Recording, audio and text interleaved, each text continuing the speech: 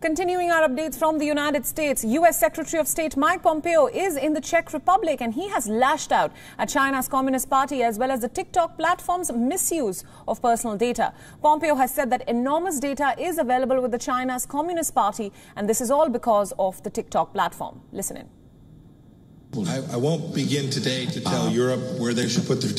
Já nebudu tady dneska říkat Evropanům, kam mají umístěvat datová centra. To nechám na vás, abyste se rozhodli, ale můžu vám říct následující. Ne, a nebudu se omezovat na jednu jedinou platformu nebo firmu. Říkám the to obecně. capacity for this information to be Kapacita shared pro sdílení amongst informací mezi rule of law and we understand where data západními goes zeměmi, kde is a prostě completely different právo, analysis than the data sets that je are being úplně transferred něco to an jiného, authoritarian regime like než China. eh, způsob, And který the využívají to tyto which data that information autoritářské will be režimy, put jako například Čína.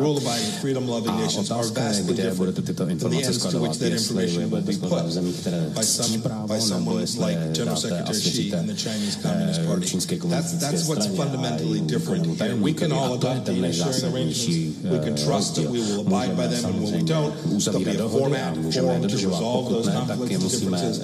That is radically different than what's taking place here. So when- when President Trump made his announcement about budou. A když not only TikTok, but about WeChat, if you read it, it's, TikToku, ale o it's, it's a broader even still than that is that tak je to daleko širší sure a musíme zajistit, aby ta americká data neskončila na rukou protivníků, jako například čínská komunistická strana, která používá mocně vlastně data k tomu, aby právě mohli provést největší eh, potlačení lidských práv. Prostě a my tohle ne